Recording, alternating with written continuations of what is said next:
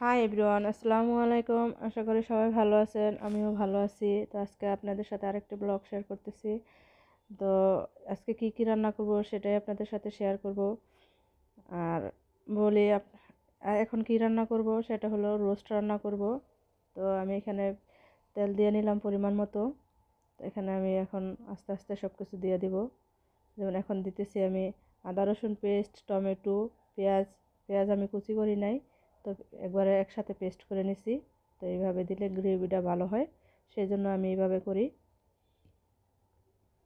আর এইভাবে করলে একটু তাড়াতাড়ি হয়, যদি কারও তাড়াতাড়ি করার যে এখন তার খুব দ্রুত কাজ করতে হবে, তাহলে এইভাবে করে নিলে খুব ভালো হয়। তো আমি আজকে খুব দ্রুত কাজ করতেছি, সেজন্য এইভাবে করে নিলাম। তো প্রপার রেসিপি শেয়ার হইব করা হইব না সব কিছু হয়তো রোস্টের রেসিপিটা শেয়ার করা হবে আর যা যা রান্না করব, হয়তো কিছু কিছু অংশ থাকবে আপনাদের সাথে শেয়ার করব। তো এই তো আমি এখন এগুলো একটু ভালো করে ভেজে নেব। এই তো আমার তেলের সাথে একটু ভাজা হয়েছে মশলাগুলো, এখন আমি বাদাম বাটা দিয়ে দিব। এখানে সব ধরনের বাদাম আছে কিশমিশ কাজু বাদাম, পেস্তা বাদাম, পেস্তা না, কাজু বাদাম কাঠবাদাম বাদাম, তো এগুলো দিয়ে দিতেছি। এখন এগুলো ভালো করে একটু তেলে ভেজে নেব। তো আমার কথায় হয়তো উলট পালট হয় তো ভুল হলে ক্ষমার দৃষ্টিতে দেখবেন। আর চেষ্টা করি একটু ভালো করার, কিন্তু হয়তো হয় না। তো সামনে তো হয়তো হইবে আস্তে আস্তে, কারণ সব সময় ভিডিও দেওয়া হয় না দিব দিব করে আর দেওয়া হয় না। তো বাইরে হয় শব্দ হইতেছে, অন্য অন্য দিকে আজান দিতেছে। তো আমি বয়স দিতেছি আর কি এই সময়। এই তো আমার মশলা কষানো হয়ে গেছে। এখন আমি রোস্টের মশলাটা দিয়ে দিব। তো এখানে আমি সব ধরনের রোস্ট মশলা একসাথে ই করে পেস্ট করে নিছি। তো এখন আমি দিয়ে দেবো পরিমাণ মতো।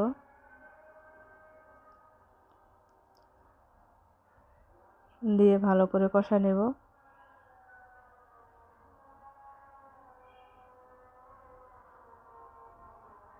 মশলাটা যতক্ষণ পর্যন্ত তেল উপরে বেসে না উঠবো, ততক্ষণ পর্যন্ত কষাবো এর মাঝখান আমি আবার টক দই দিব।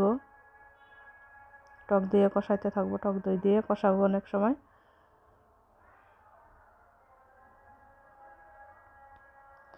এই তো প্রায় কষানো হয়ে গেছে, এখন আমি টক দইটা দিয়ে দেবো।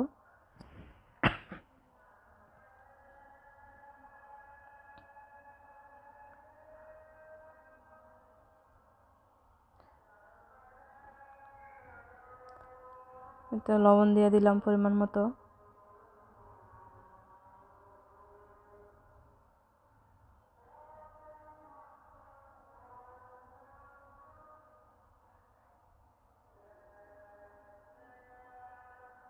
টক দইটা দিয়ে দিলাম।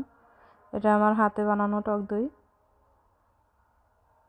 টক দইটা আগে একটু করে নিছি, গুইটা নিছি।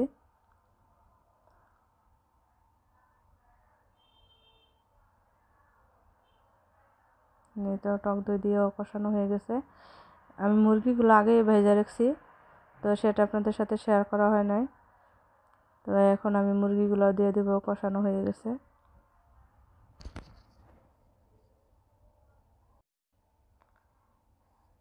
এই তো আর একটু কষবে, তারপর আমি মুরগিগুলো দিয়ে দিব। এইভাবে রান্না করলে হয় কি, একটু তাড়াতাড়ি হয়, আবার খেতেও খুব ভালো হয়। এইভাবে রান্না করে দেখবেন। রান্না করে দেখবেন, খেতে খুব ভালো হয়। যে মুরগিগুলো আগে ভেজে রাখছিলাম, তো এখন আমি দিয়ে দিব সব একসাথে। তো আজকে আমি এই রান্নাটায় পানি ব্যবহার করব না। এগুলো দিয়ে একটু মুরগিটা দিয়ে কষাবো, কষানোর পরে দুধ দিয়ে দিব।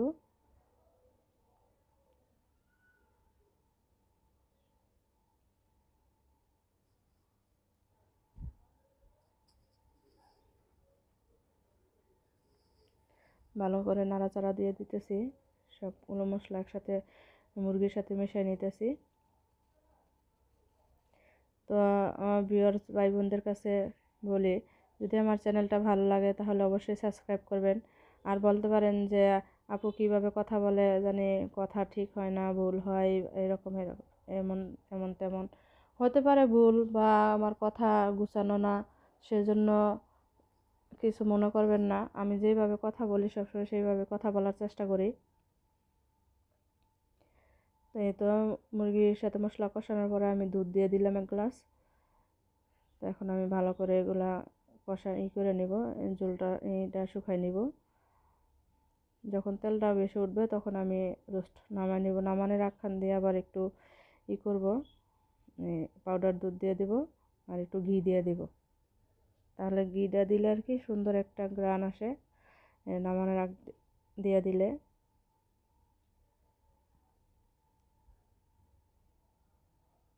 এই তো আস্তে আস্তে হইতে থাক। আর আমার ভিউয়ার্স ভাই বোনদের সাথে আমি কথা বলতে থাকি। তো আমার ভিউয়ার্স ভাই বোনেরা কেমন আছেন? কমেন্ট করে জানাবেন আর আপনারা যদি কমেন্ট করেন তাহলে হয়তো উৎসাহটা আর একটু বাড়বে যে আমার ভিউয়ার্স ভাই বোনেরা বলছে, এটা দেখাইতে বা ওইটা দেখাইতে বা এটা করতে বা এইভাবে বা ওইভাবে। তাহলে উৎসাহটা আর একটু বাড়ে। দেখা গেছে ভিডিও দিতেও ভালো লাগে। এই তো আজকে অনেক কথা বলতেছি আপনাদের সাথে, অনেক দিন পর। আমার ভিডিও অনেকগুলো জমে আছে ই করব, দিব দিব করে আপলোড করব করব করে করা হয় না এডিটিং করা হয় না, সেই জন্য তো আমার রোস্ট প্রায় হয়ে গেছে, এখন আমি দেড় চামচ চিনি দিয়ে দিব।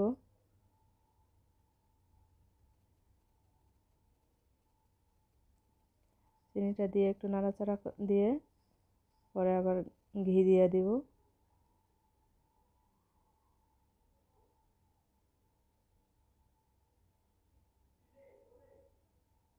রোস্ট এভাবে রান্না করলে খেতে অনেকই ভালো হয় মাসাল্লাহ ট্রাই করে দেখবেন। আর যারা ট্রাই করবেন, অবশ্যই কমেন্ট করে জানাবেন যে কেমন হয়েছে।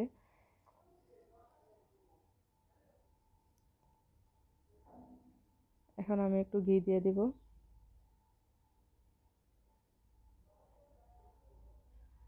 তো এখানে আমি শানের ঘি ব্যবহার করব।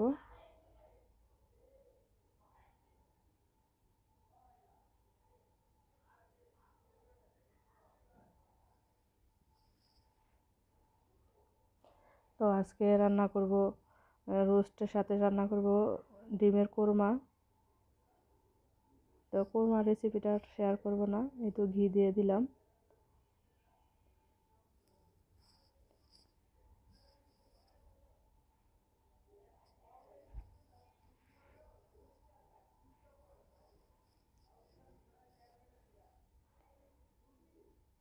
আজকে খুব অল্প রান্না বাসায় মেহমান আছে, তারপরও বেশি কিছু রান্না করব না, অল্প অল্প করে রান্না।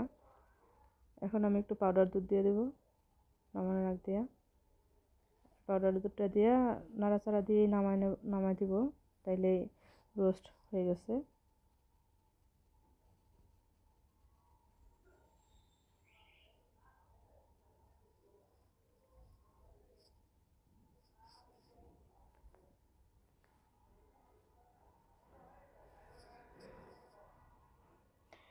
বাইরে থেকে হয়তো অনেক শব্দ আসতে পারে, আমি ভয়েস দিতেছি সন্ধ্যার সময় সেই জন্য বাইরে অনেকে কথা বলতেছে। এই তো আমার ডিমের কোরমাটাও রান্না হয়ে গেছে। আর একটু হইব।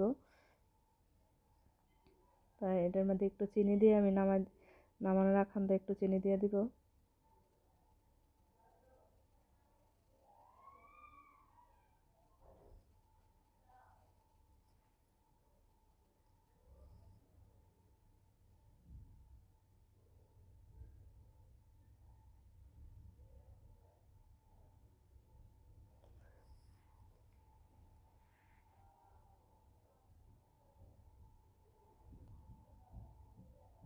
এই তো কোরমা রান্না প্রায় শেষ। কাঁচামরিচ দিয়ে দিলাম কয়েকটা।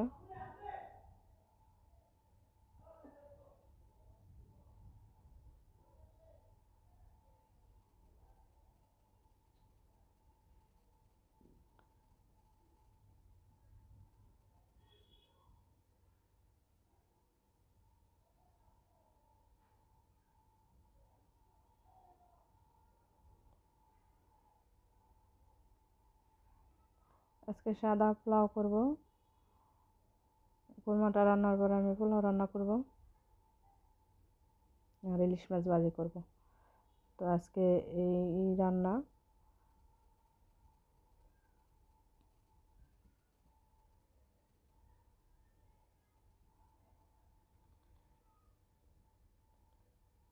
যদি আপনারা কেউ ডিমের কোরমা রেসিপি চান খুব সহজভাবে, তাহলে আমি আপনাদের সাথে ডিমের কোরমা রেসিপিটা শেয়ার করব। যদি আপনাদের ভালো লাগে। যদি কেউ মনে করেন যে হ্যাঁ দেখি কি আপু কীভাবে রান্না করে, তাহলে শেয়ার করব। অবশ্যই আপনাদের সাথে ডিমের কোরমা। এটা চিনি দিয়ে দিছি। এখন আমি নামাই নিব।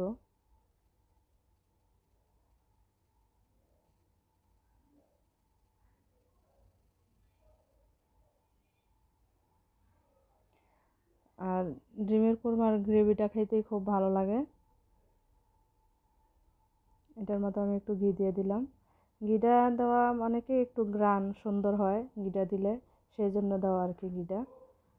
না, অন্য কোনো কিছু না, ঘিয়েতে আপনার স্বাদ বাড়াইবে না, কিন্তু এটার গ্রানটা খুব সুন্দর আসে।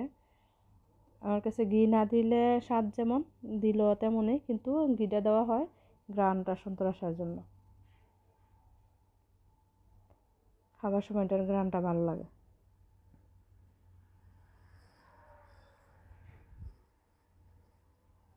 তো পোলাও রান্না করে নিতেছি।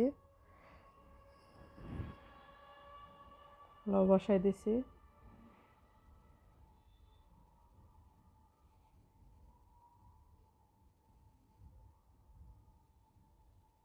ঢাকনা দিয়ে দিলাম। এই তো খাবার সময় ভিডিও করব কারেন্ট ছিল না, তো একটু ভিডিও আপনাদের সাথে শেয়ার করলাম। তো সবাই ভালো থাকবেন। এখানে আমি ইলিশ মাছও বাজি করছি, আপনাদের সাথে শেয়ার করতে পারি নাই। তো সালাদ কেটে নিছি। আর সবাই ভালো থাকবেন, সুস্থ থাকবেন, সবাই সবার জন্য দোয়া করবেন। আল্লাহ হাফেজ। আসসালামু আলাইকুম।